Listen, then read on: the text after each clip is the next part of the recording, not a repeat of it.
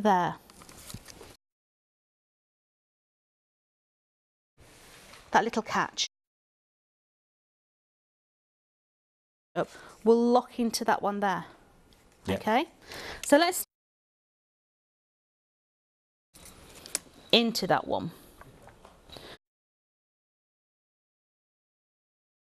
all the way around okay now what you do is you put your tape on the bottom edge and you offer tapping from its bottom.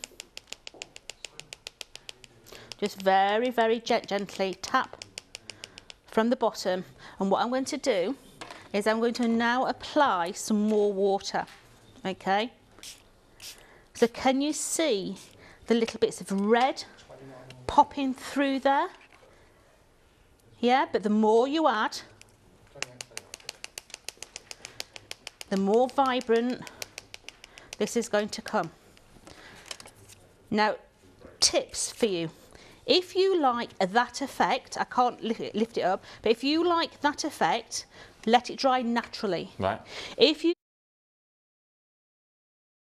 when you've got to that stage, try rock salt as well. Okay. Sprinkle it with rock salt. That will give you a completely different effect uh, again.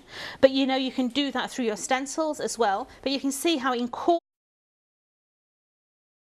what is Gonzo's eyes, you're bending those over to the middle, and then you're Gonzo's wrapping. Eyes. It's the easiest way.